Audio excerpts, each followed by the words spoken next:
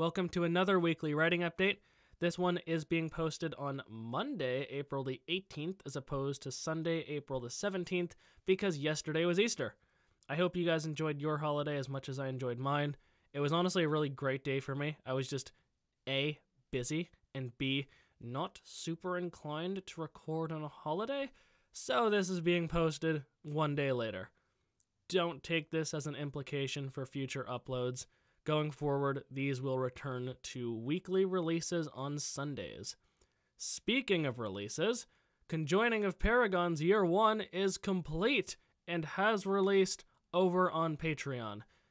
Those chapters will, of course, become publicly available in the near future. I post those publicly every second Wednesday. But for now, the year is at least completely written, and honestly, it was extremely fulfilling penning the last few paragraphs of the final chapter because this is something I've had planned for a long time. And the penultimate chapter, some of the most fun I've had with reader reactions in a long time. So, honestly, despite the fact each of these chapters was way more difficult than I thought they'd be and took way longer than I wanted them to, I'm actually really happy with how this late with how this last week went, and I'm on a little bit of a high right now in terms of writing. The one downside is that I did not get FOF written. I know, I know, broken record.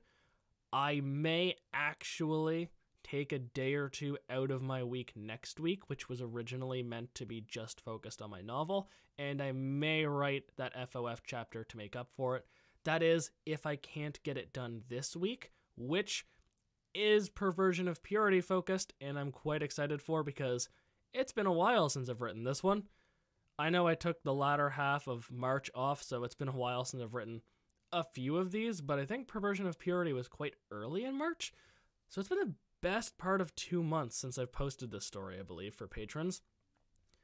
And I'm just really excited to get back to it because I ended on such a big note.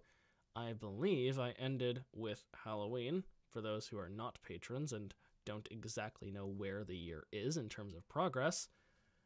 I hope to get three chapters written this week. The third one for any story is always a little bit iffy, but I can typically bang out three POP chapters pretty smoothly.